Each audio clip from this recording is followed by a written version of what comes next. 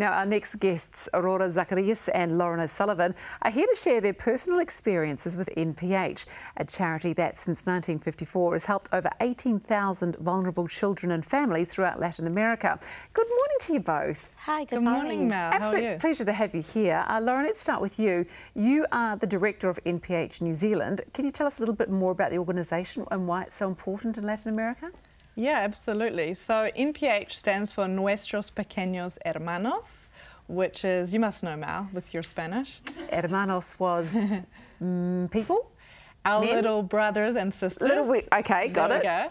And so it's a charity that helps thousands of vulnerable children and families throughout Latin America in so, nine different countries. So why is it so important? It's so important in Latin America because there's a lot of poverty there and there's no safety net especially for vulnerable kids. So often they end up on the streets or sniffing glue or stealing just to survive yeah. or into prostitution. So because there's no government support, there needs to be organisations like NPH that help these children. Okay. Now, Aurora, you've had first-hand experience uh, with NPH. Can you tell us your story? Yes. Unfortunately, I was uh, younger when I lost my mother. I was eight years old when my mother passed away. We didn't know that she was seriously ill because we live in extreme poverty mm-hmm. and we didn't have access to a doctor. So my dad tried to take care of us after two years when my mother passed away, but unfortunately he lost his job and he turned to alcohol. And was by the end uh, he abandoned us and he pursued to find a job in US, of course as immigrant. And we have not heard about my dad for 30 years. We Gosh. don't know if he's even alive. We didn't receive any news about him. So was by the grace of God, one of my aunts. Uh, my family couldn't take care of us because they were poor too. Mm-hmm.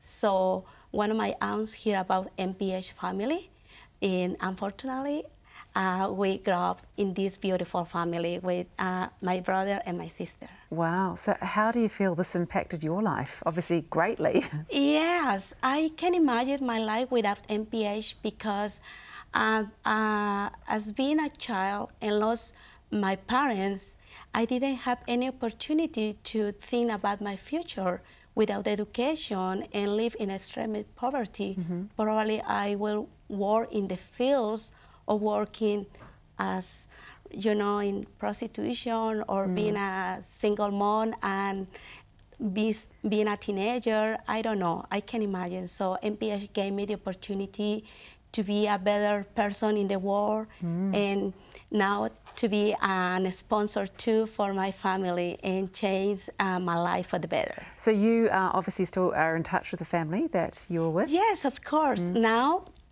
I'm very proud to say that I'm a sponsor for my family an ambassador for uh, to give uh, to share the message that was the NPH mission. And I'm a professional adult now in, in Mexico and wow. a financial analyst. Wow. And also, I started my own business and design jewelry uh, in silver. So this is another thing that I can impact and to help another communities in Mexico. And we promote that we make uh, in Mexico. That is so great. Um, now, Loren, uh, as well as a safe and loving home environment, um, education obviously extremely important for children.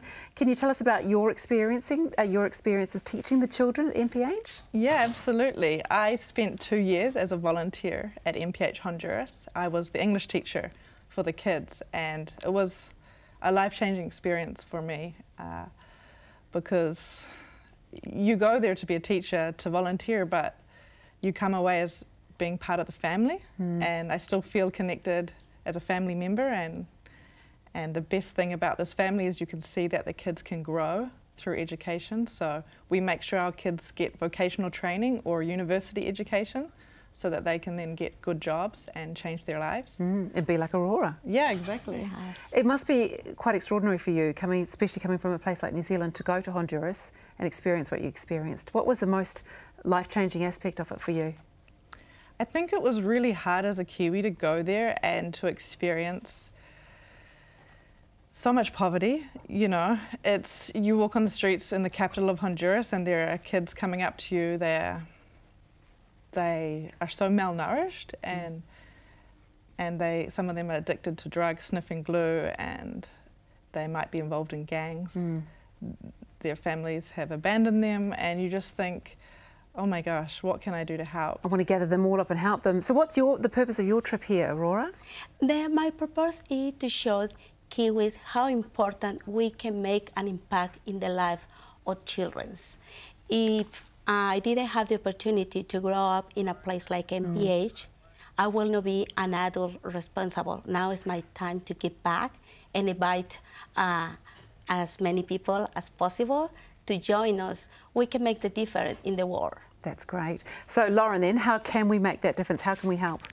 Yeah, well, absolutely, Mel. Uh, the best way that New Zealanders can help is to sponsor a child uh, because this has a huge impact on the life of a child. You know, sometimes we feel there are so many problems in the world, where do I even start? Yeah. But just giving $40 a month can really change a child's life like Aurora it gives them education, hope for the future. Well, exactly. Well, the proof is sitting right in front of us, isn't yeah, it? I don't so think lovely. I need to talk too much today because It's so lovely yeah. having you both in the studio. It really has. Thank you so much both for joining us. Thank you. Uh, for Thank more so on NPH and how you can help, head to nphnz.org.